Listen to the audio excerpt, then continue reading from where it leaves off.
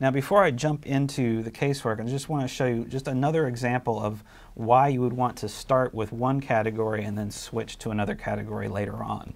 This is a little bit of a trick, um, but if you want, ever want to create an elevator in Revit, now when you have an elevator, you're going to want to define where the elevator starts at the bottom and where, what level it actually goes up to in the generic model uh, template, which is typically the template that you would want to use, because most elevators you're going to want them to be a generic model, um, they only have that one reference plane, like I showed you.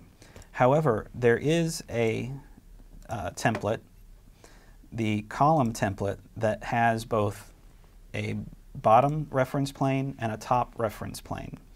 And so I can go to the front view here and you can see I've got a lower and an upper reference plane. The column template is the only Revit template that has that. So what I can do is I can build my elevator and have this be the first floor serviced and this can be the second floor serviced or the top floor serviced. And then I can tell my elevator where to start and where to stop. It's very, very easy. And all I have to do now is switch it to a generic model and I can build my elevator at, this, at that point.